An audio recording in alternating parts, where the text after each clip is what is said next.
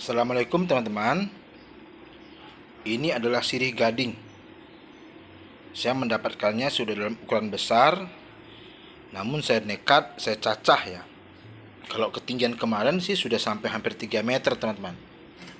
Ini saya cacah Kemudian saya tanam. Dengan media tanam hanya mencampurkan antara sekam mentah dengan tanah teman-teman. Nah Alhamdulillah dalam berapa hari ini ini yang bagian tengah sebenarnya sudah menimbulkan tanda-tanda kehidupan. Yaitu ada tunas yang tumbuh teman-teman. Ya. Nah selain itu saya juga menanam yang masih kecil teman-teman. Ini yang masih kecil kemarin. Ya alhamdulillah juga tidak mati teman-teman semuanya. Ya Nah, sudah ada daun baru di sini bakalannya. Dan ada yang bagian paling bawah kemarin itu saya cacah juga.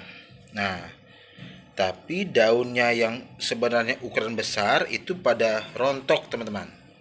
Tapi alhamdulillah sudah menunjukkan tanda kehidupan karena sudah mulai tumbuh tunas tunas-tunas baru, teman-teman semuanya.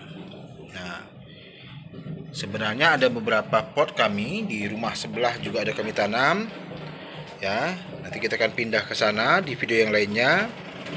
Tapi minimal kami tunjukkan inilah hasil kami kemarin mencacah eh, tanaman sirih gading yang ukurannya besar. Karena sirih gading yang di sini yang kami miliki ini itu sampai daunnya pecah, teman-teman semuanya. Ya, saking besarnya daunnya bisa pecah, teman-teman itu dulu ya teman-teman semuanya. Koleksi sarih sirih gading kami teman-teman.